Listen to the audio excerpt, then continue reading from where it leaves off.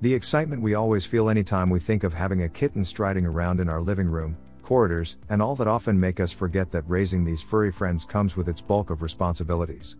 We'll have to give commitments.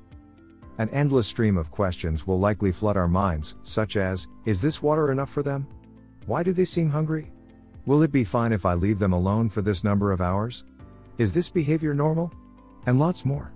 Just as if you were raising a baby in your house.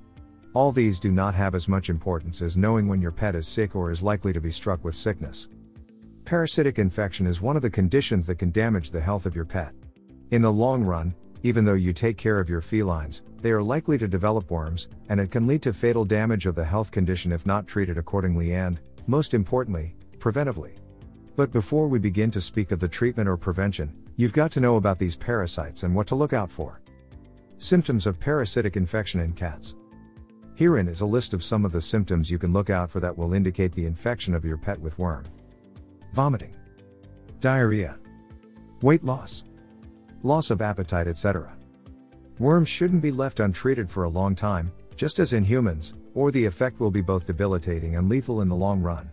The chronic, long term, effects of worms include anemia, this happens because of blood loss, and it is a severe effect because the blood is a tissue that is essential for the sustenance of life, and the loss of it, low blood volume, can cause fatal results.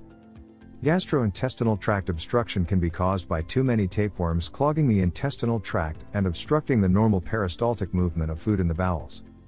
Whipworm. Whipworms resemble tiny thread pieces, with enlargement on one end of the worm. These live and breed in the intestine of your cat and are later passed out in feces, though they are microscopic. Then they spend around two weeks on land developing to become infective embryos that are once again consumed by your cat and continue their life cycle.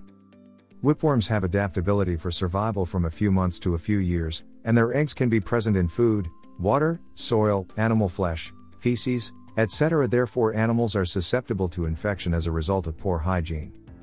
Roundworm. One of the most common worms that can infect your pets is one of the first that comes to mind anytime we hear the word worm. It can infect cats of all ages and is usually picked up in an unclean environment. You may see adult roundworms in your cat's feces or vomit. They may have a white or light brown color, and their length can be up to several centimeters. Eggs of ringworms are passed in feces and can remain viable in the environment for a long time, even up to years. These eggs can infect other cats either by directly ingesting contaminated materials in the background or by eating prey that has been infected by eating the eggs of roundworms. Hookworm. Hookworms are similar to whipworms in light of their small size, which is microscopic as hookworm. They have a characteristic effect in that they can cause damage to the intestinal lining where they attach, which can lead to weight loss, bleeding, which ultimately leads to anemia. Cats can be infected similarly to other worms by ingesting the egg from food or eating prey that has been infected initially. Another mode by which cats can be infected is by the larvae burrowing into the cat's skin. Coccidia. This is a bit different from the other parasites because it is a protozoan rather than an actual worm. They can cause an equal amount of damage to your cat, as do worms. It poses a significant threat to your cat because it can cause severe diarrhea. Tapeworm. Even if it is a short list of worms, it wouldn't be complete without commenting tapeworm. They resemble small pieces of rice and can be found in the cat's feces or the rear region. To complete their development, all tapeworms require an intermediate host first to eat the eggs, and then your cat can become infected by eating the intermediate host. The intermediate host could be fleas or small rodents, mainly rats. Since fleas carry worms, you should worm your cat, and it is pretty easy and safe to treat your cat for both flea and worms. Now that you have gotten an idea of what worms are, their types, and how great havoc they can cause, it is expedient that you should also have a picture of the necessary steps to prevent these actions. Hello. This video is sponsored by Bemix Pets. Are you looking for high quality cat collars at an affordable cost? Check out bemixpets.com. Use coupon code KittenLife to get 20% off. Deworming. There is no other step to take than deworming, and the substance given to the pet is a dewormer. A dewormer is any substance that kills intestinal parasites once it is ingested. Another name for these medications is also called anthelmintics, which are any medication that fights off and expels worms.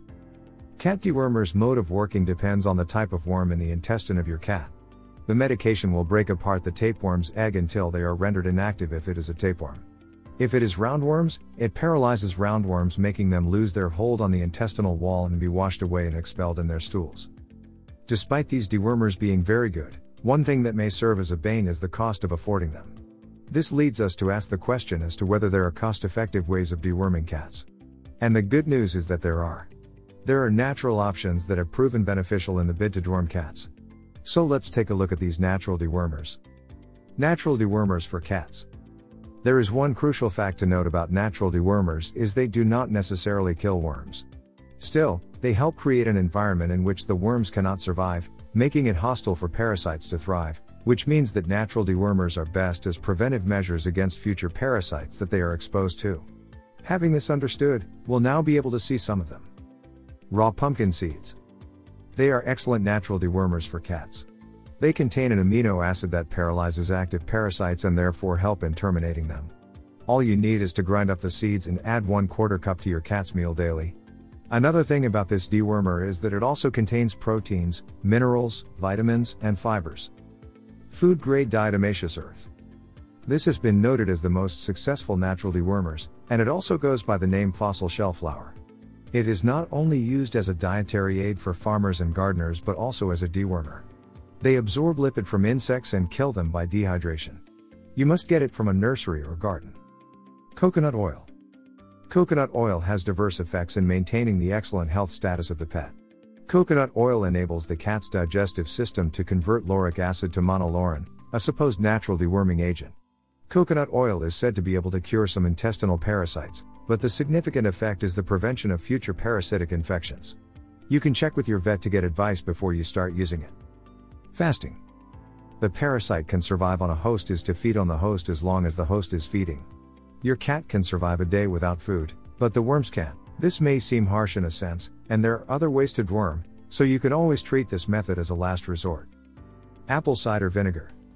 This method is a reputable one in that it creates an alkaline environment in the intestinal tract. This can impact any active worm in the intestine of the cat, but one concern about it is that daily usage of it can be harsh on the kidney and can potentially worsen underlying issues you aren't aware of. Garlic. Another natural dewormer is garlic. Put mid fresh, minced garlic into your cat's meals once a day.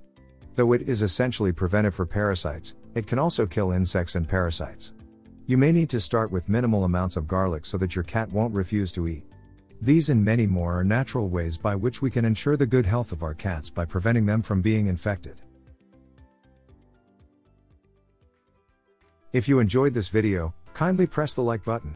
Also don't forget to subscribe with notifications on, so that you don't miss out on videos like this.